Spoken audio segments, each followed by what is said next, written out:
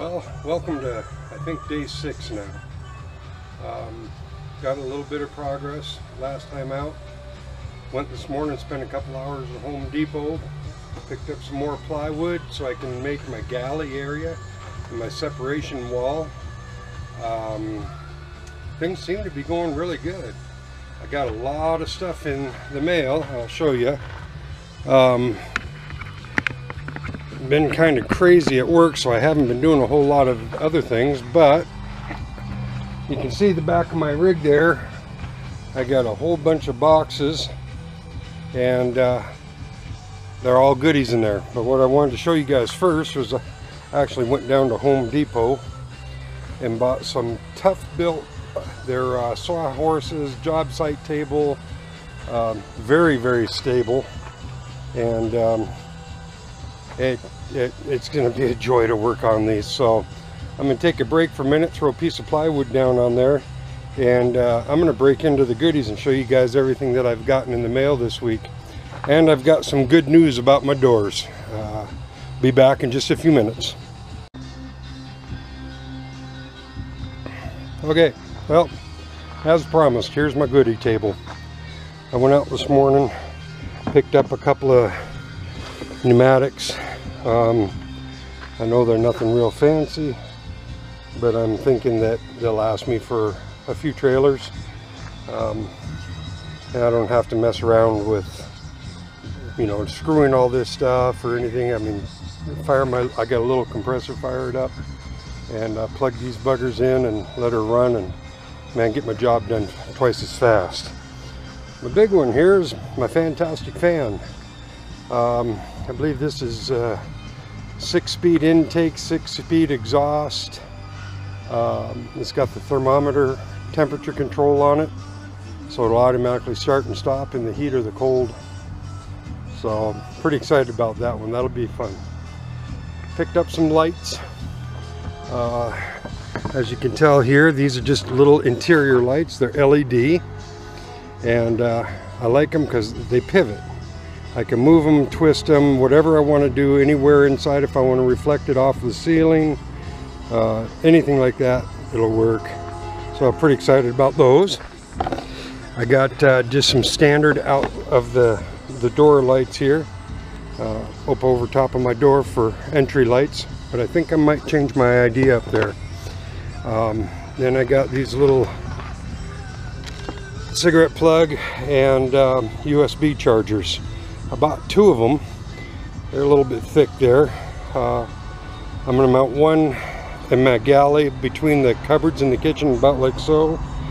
And then uh, I'm not sure about my other, but figure that way there we can charge phones, we can charge computers, whatever we want, uh, either in the galley or in the sleeping quarters. Now here's what I think I'm going to do. Um, I seen a, a gentleman that did a video and he had rotating lights on his his uh, teardrop. And he could flip them down this that. And I tried to find those mounts. I couldn't do it. These are I picked these up off of Amazon. $27 uh, or excuse me 27 watt uh, waterproof um, I standard waterproof too so I don't remember exactly what it is but they're 27 watt uh, the bad part is they're spot rather than flood, but it'll work. So what I'm going to do is I have these ram mounts that someone gave me.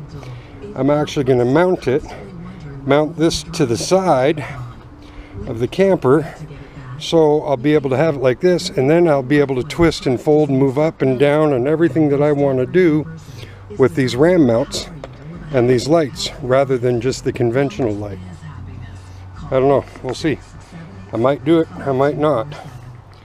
Uh, got some 10 amp or 10 wire here, 10 gauge. Um, in the back of the camper where a 12 volt refrigerator would go.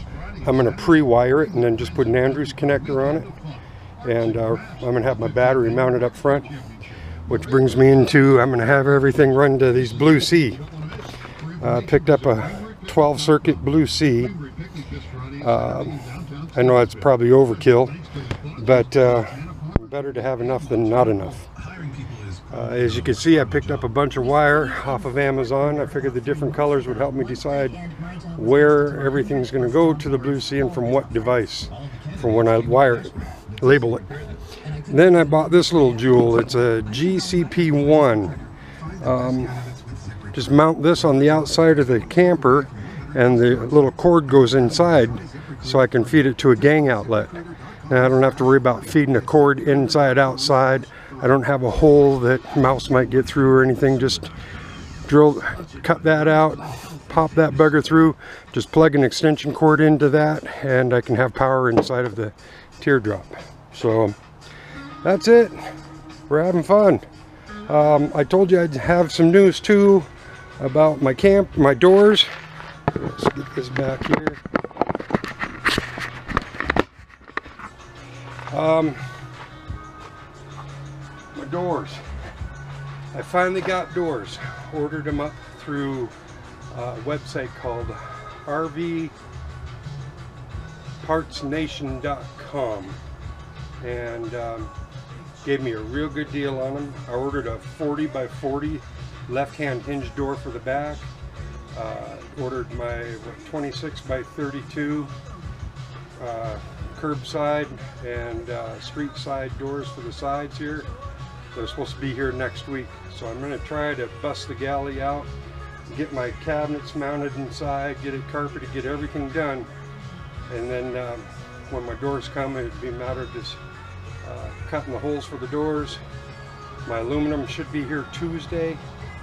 And uh, hopefully in the next two weeks I can have this bugger done. We'll see. Thank y'all. I appreciate you for watching.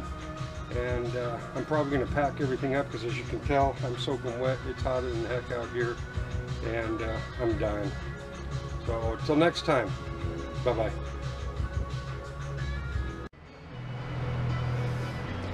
All right, as you can see, um, I set my table up here and and uh, have been cutting a little bit of wood. So um, put in some cross braces here. Uh, a little more surface area to mount to, screwed them in. So when I put my plywood on over top, everything will fit just fine.